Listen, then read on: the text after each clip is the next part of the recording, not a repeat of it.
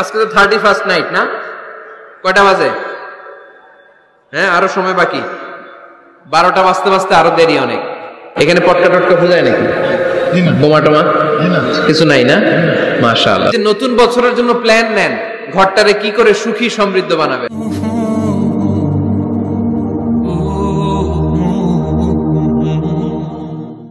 ঘরে কোরআন তেলাওয়াত করুন।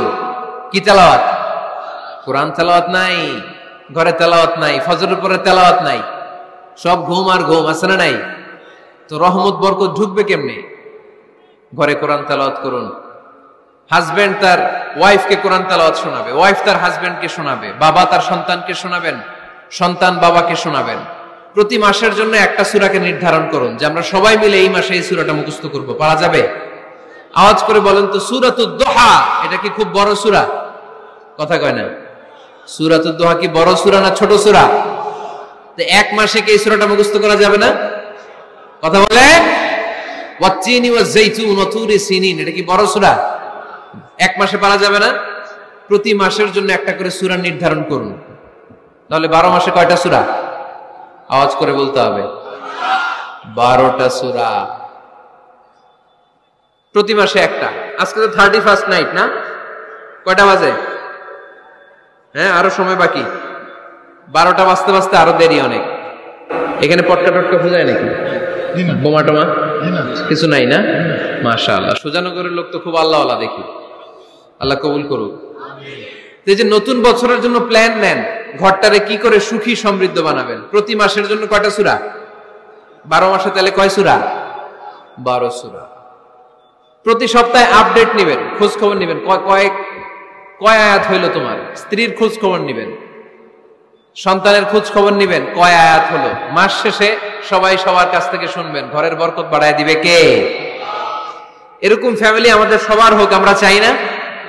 হ্যাঁ? স্ত্রী তার স্বামীকে কোরআন তেলাওয়াত করে শোনায়। স্বামী তার স্ত্রীকে কোরআন তেলাওয়াত করে শোনায়।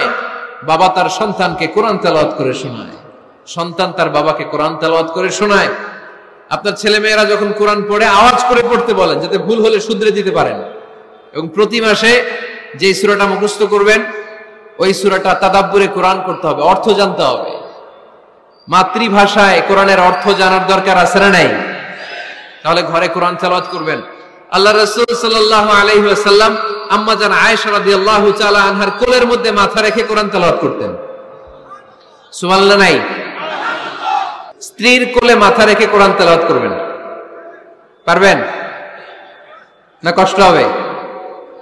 স্ত্রীর কোলে মাথা রেখে কোরআন তেলাওয়াত করবেন, এটা সুন্না আল্লাহ রাসূল সাল্লাল্লাহু আলাইহি সাল্লাম আম্মা জান আয়েশা রাদিয়াল্লাহু তাআলা আনহার কোলে মাথা রেখে কোরআন তেলাওয়াত করতেন।